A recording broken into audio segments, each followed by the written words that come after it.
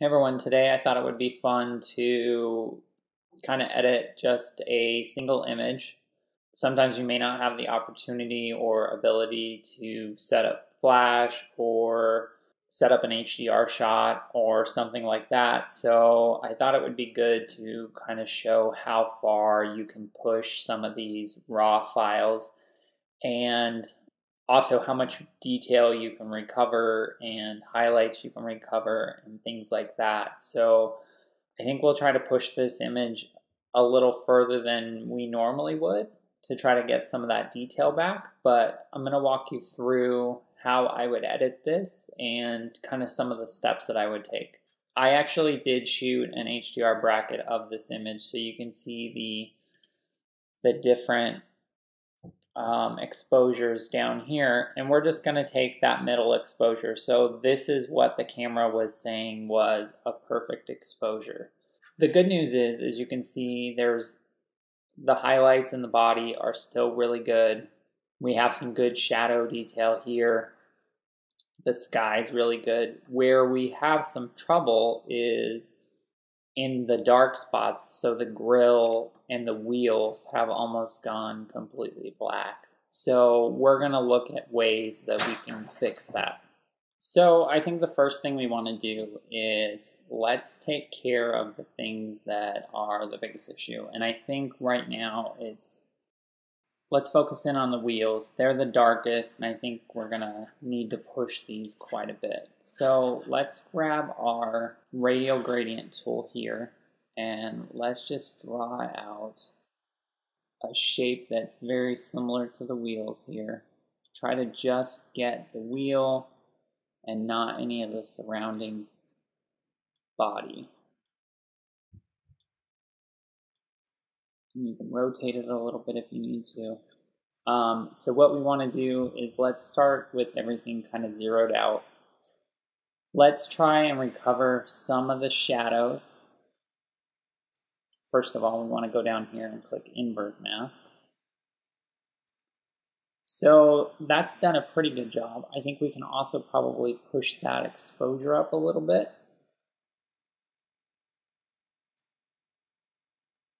And that's probably good to start with.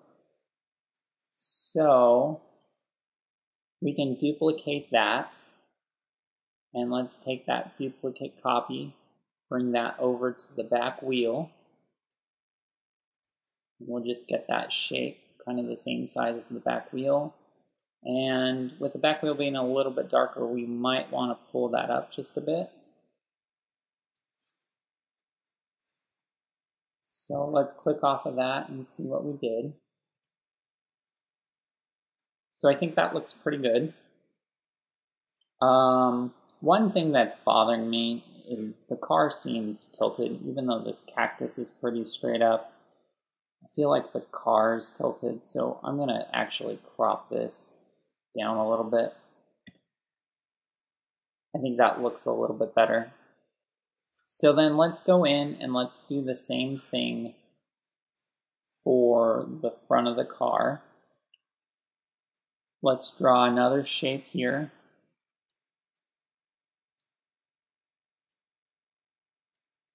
And then let's let's grab our shadow slider. And again, it defaulted to inverted mask, so we want to click that button.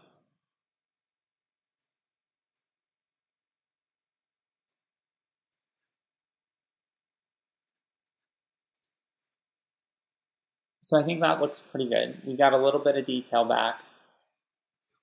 Let's go to our graduated filter here. Let's pull it down on the sky. And then we're actually going to darken this down a little bit. So let's pull that exposure down. Let's make it a little bit more blue. And then let's do a similar deal with the bottom here. Let's pull one up from the bottom.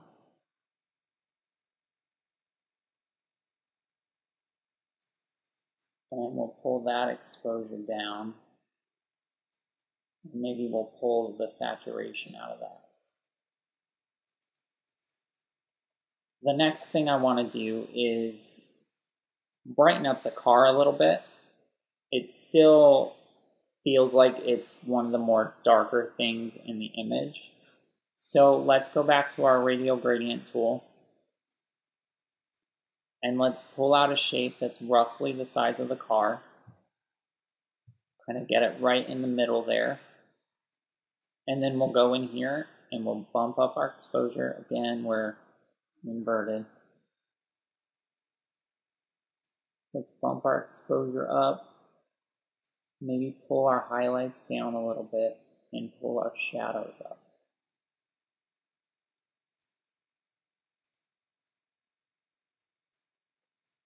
So overall, I think we're we're getting we're getting there.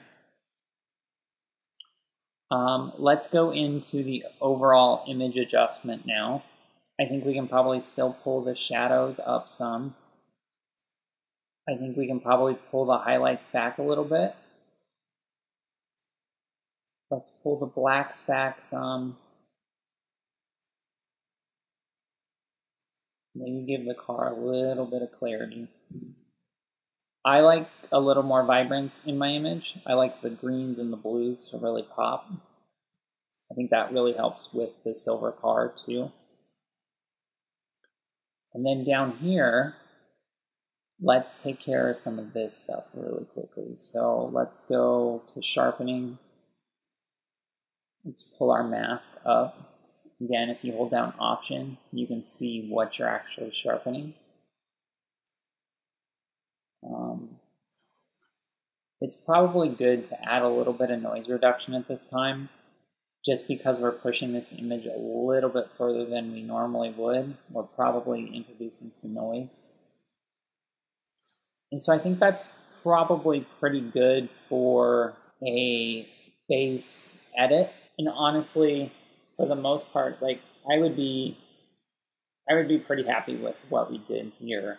But let's take it a step further. Let's go over into Photoshop and let's do a couple extra tweaks there. So we're going to right click here and we're going to go edit in, edit in Photoshop.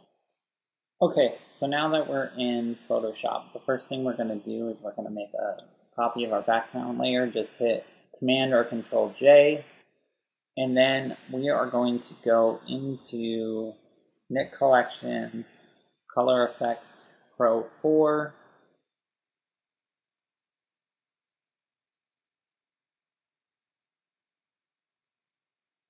And we want to go over here to white neutralizer and we're to click right on the top of the car. What that's to do is that's to help us get rid of any blue cast that's on the top of the car. So if you look before and after, it didn't change a lot. It warmed up the car a little bit, so I think that that's good. So we're to go back into there. We're to go into Nik Collections. We're to go down to Silver Efex Pro.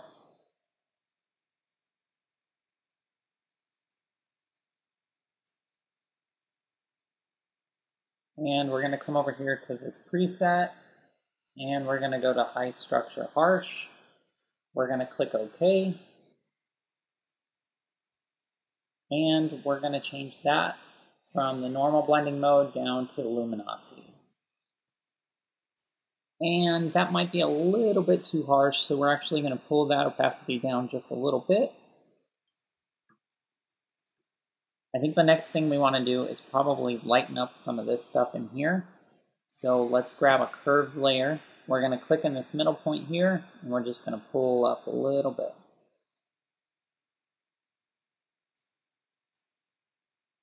Maybe we'll add a second one down here. So if you think about this line, this is your midpoint colors, these are your highlights, these are your shadows. So by pulling this up, you're making your shadows less dark. If you pull this up, you're making your brights brighter. If you pull it down, you're making everything darker. So let's change that mask to black. So we'll, we'll click Command Delete now with our brush, the shortcut is B. We're going to go in Let's make our brush a little bit bigger. You can use your left and right bracket keys to change the size. And we're just going to paint in here. Right along the bottom of the car to brighten some of this up. Well, let's not do that on the grill. It's going to make it a little bit gray. But I think down here on the bottom, this will help it out quite a bit. And then let's make another one. This time we're going to pull this center point down. And again, we're going to Command Delete to make that a black layer mask with the brush still selected. We're going to go in and we're going to paint some of this asphalt a little bit darker.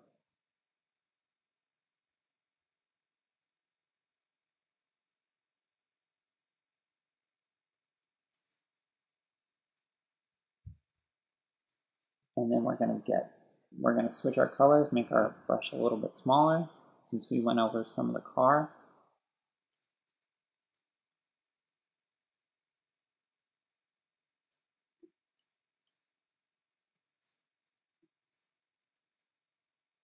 I think we're good there. So now let's do a little bit of dodging and burning. So if we zoom in on the car a little bit, Let's make a stamp visible layer. So Command, Option, Shift, and E. That'll make a stamp visible. Basically what that does is everything below it, it's going to make a copy and make a merged file of that. Let's go over to here and let's grab our burn tool. So up here we want to change this from midtones to shadows. Keep your exposure really low and you want to make sure your hardness is down to zero because you want a nice soft transition.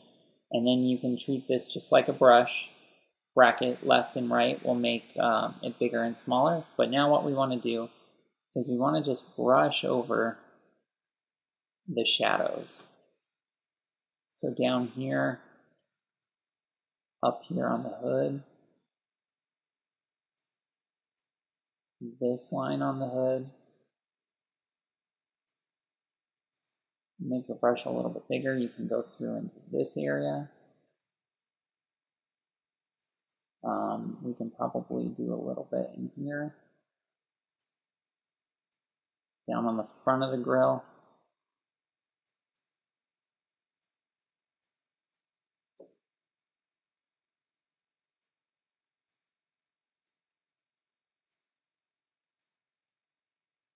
So then back out it may not look like you were doing anything when you were brushing that, but if you click that layer on and off, you can see how some of those areas just get a little bit more defined, like this area here.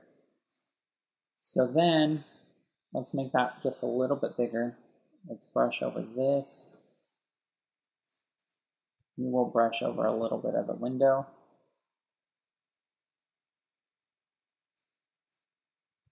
And then maybe this side. And now we want to go and grab our dodge tool. So same thing, let's only affect the highlights. Bring that down to really low, like 4%. We'll make this bigger. And now we're going to brush over the highlights. So just going around the car, you want to think about kind of the opposite areas of where you just painted the shadows.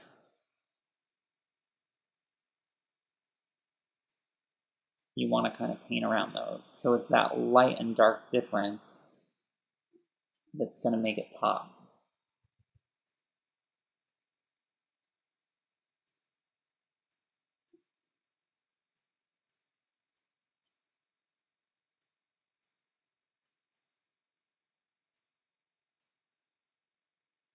So before, after.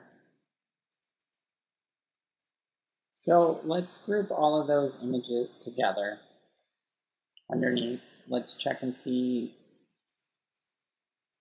So this is the difference that we've made in Photoshop so far. I think let's take this, let's make a copy, and let's pull that into Camera Raw. So we're still good with all of our settings. I think one more we can go through here.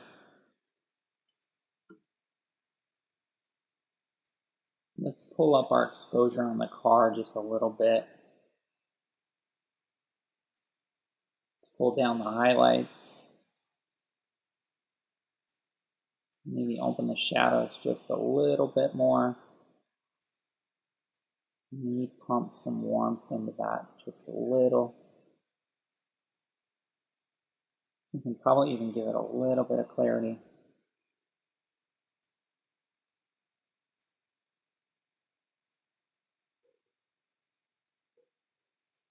Let's click OK.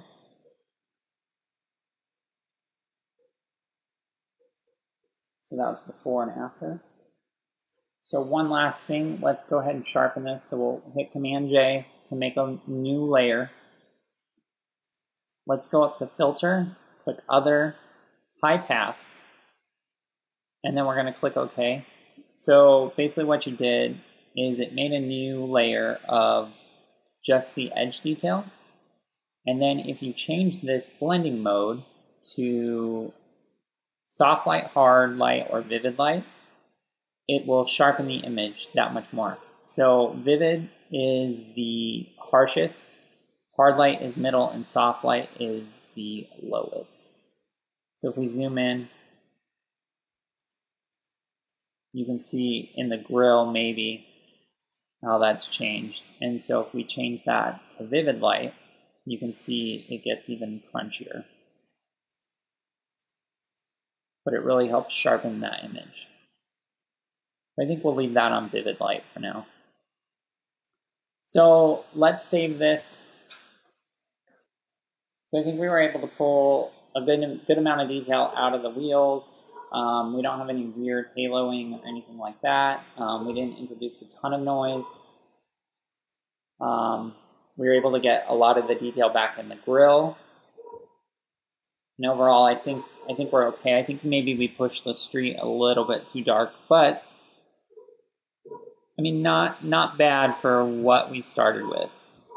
So hopefully this helped you with your images. If you get stuck in a situation where you can't take an HDR image or you don't have the ability to use Flash in a particular situation, just try to get a good middle exposure, um, leaving details still in the shadows and some details in the highlights.